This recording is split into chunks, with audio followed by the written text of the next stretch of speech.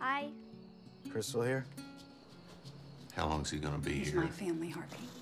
I'm not putting him out. Sorry. Ta-da! This is great. I won't be in the way. We've all dealt with dishonesty and we know what it looks like. See, I, I worry about my wife and my daughter. You're a good mom. Hey. Hmm?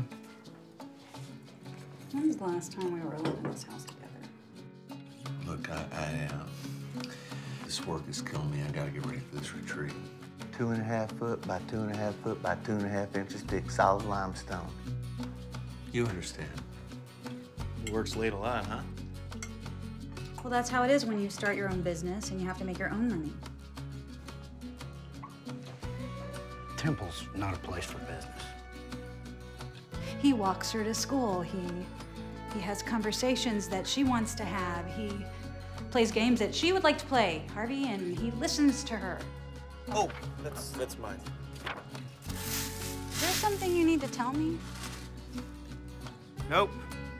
You've been figuring some stuff out. Yeah, I have, Harvey. My daughter's a big fan of yours.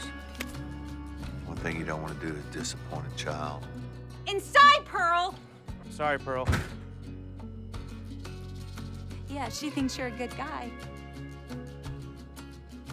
You're not a good guy.